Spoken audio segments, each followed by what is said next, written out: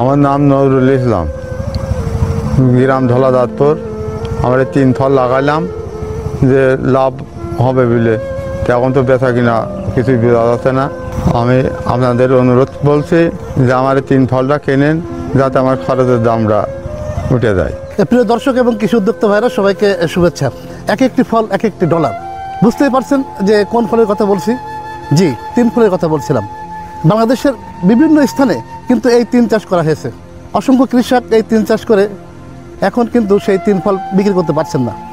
দর্শক বন্ধুরা, আমরা আজকে কিন্তু কোনো গাছ লাগানো বা চারা বিক্রির কথা বলতে আসিনি।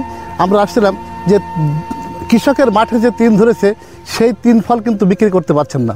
আমরা দেখতে পাচ্ছেন যে আমার সামনে কিন্তু অসংখ্য বড় বড় তিন আছে, যেটা আমি একটা সিরিজ আমরা দেখতে পাচ্ছেন যে এই তিন।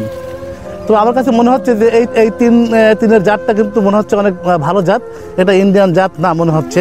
কারণ এর আগে আমরা তিন দেখেছি সেগুলোর থেকে এটা একটা ভিন্ন, ভিন্নতা আমরা দেখতে পাচ্ছি। তো মূলত এই কৃষক যে তিন লাগিয়েছেন, সেই তিন এখন গাছে ধরেছে কিন্তু সেই তিন এখন বিক্রি হচ্ছে না। যার কারণে কৃষকরা একটু সমস্যার মধ্যে আছেন। দর্শক, আমরা এখন দাঁড়িয়ে আছি ঝিনাইদহ জেলার কালীগঞ্জ উপজেলার দাঁতপুর গ্রামে। এই দাঁতপুর গ্রামের নজরুল ইসলাম ভাই। ওনার একটা মাঠের একটা অংশে একটা বেডে কিন্তু এক লম্বা সারি করে একটা তিন গাছ লাগিয়েছেন আপনারা দেখতে পাচ্ছেন। তো নজরুল ভাই এখানে কতগুলো গাছ গাছ লাগিয়েছেন আপনি? পঞ্চাশটা চারা। পঞ্চাশটি চারা। পঞ্চাশটি চারা আপনি কতদিন আগে লাগিয়েছেন? চার মাসে চার মাস হয়েছে। কত কত দিয়ে কিনছিলেন বিশ হাজার টাকা দেখি বিশ হাজার টাকা দিয়ে কিনছিলেন। তা আমাদের আজকে কেমন রাখলেন আপনি? এই চারা যাতে তিন ফলটা বিক্রি করা যায়। তিন ফলটা বিক্রি করতে অর্থাৎ আপনি বিক্রি করতে পারছেন না। না। মানে এই কোথায় বিক্রি করবেন এটা আপনি জানেন না। আপনি কি তিন কি তুলেছেন এর আগে কখনো? না। এর আগে বিক্রি করেন না। তো এখন যে ফল আছে এই ফলকে আপনি বিক্রি করতে পারছেন না? মনে বিক্রি বিক্রি করবেন আপনি। দর্শক এই নজরুল ইসলামের যে তিন ক্ষেত, এই তিন ক্ষেতে কিন্তু অসংখ্য তিন আসছে। উনি কিন্তু সেই তিন বিক্রি করার জন্য আমাদের কাছে আসছেন। আমাদের, আমাদেরকে খবর দিয়েছেন যে আমরা, আমাদের যে ইউটিউব চ্যানেল বা আমাদের যে ফেসবুক পেজ আছে, কৃষিভিত্তিক আমরা অনেক খবরাখবর সম্প্রচার করে থাকি। সে আলোকে তারা জেনে আমাদের কাছে আসছেন যে এই তিন ফল কীভাবে বিক্রি করবেন বা কোথায় মার্কেট মার্কেট পাওয়া যায় সে বিষয়ে জানার জন্য উনি মূলত আসছেন। তা আমরা এর আগে আমরা জেনেছি যে এই যে তিন ফল, এই তিন ফল সম্পর্কে আমরা উপজেলা কৃষি সম্প্রসারণ কর্মকর্তার সাথে কথা বলেছিলাম। তিনি বলেছিলেন যে এই তিন ফল পেকে গেলে বেশিক্ষণ রাখা যায় না। অর্থাৎ আঠাশ থেকে তিরিশ ঘণ্টার মতো এই তিন ফল থাকে।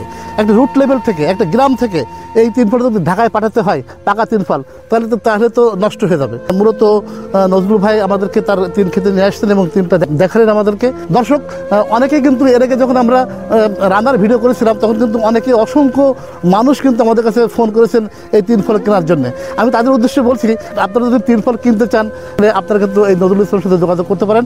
আমরা তার নাম্বার আমাদের ভিডিওর ডেসক্রিপশন বক্সে দিয়ে দেবো। তো দর্শক আজ আর বেশি কথা বলছি না, কারণ আমাদের উদ্দেশ্য ছিল তিনি যে তিন ফল লাগিয়েছেন, সেই গাছে ফল আসছে এবং সেই ফল এখন বিক্রি করার উপযোগী হয়েছে। কিন্তু তিনি বিক্রি করতে পারছেন না। যার কারণে আমাদেরকে বলছেন, আমরা চাচ্ছি যে যারা এই তিন ফল কিনতে চাচ্ছেন, তারা নজরুল ইসলামের সাথে যোগাযোগ করতে পারেন। আমার নাম নজরুল ইসলাম। গ্রাম ধলাদাতপুর। আমরা এই তিন ফল লাগাইলাম, যে লাভ হবে বলে। তো এখন তো বেচা কিনা কিছুই বোঝা আছে না। আমি আপনাদের অনুরোধ বলছি যে আমার তিন ফলটা কেনেন যাতে আমার খরচের দামটা উঠে যায়। দর্শক বন্ধুরা সবাইকে শুভেচ্ছা এবং ধন্যবাদ জানিয়ে শেষ করছি। পরবর্তীতে নতুন কোনো এপিসোডে আপনাদের সাথে দেখা হবে।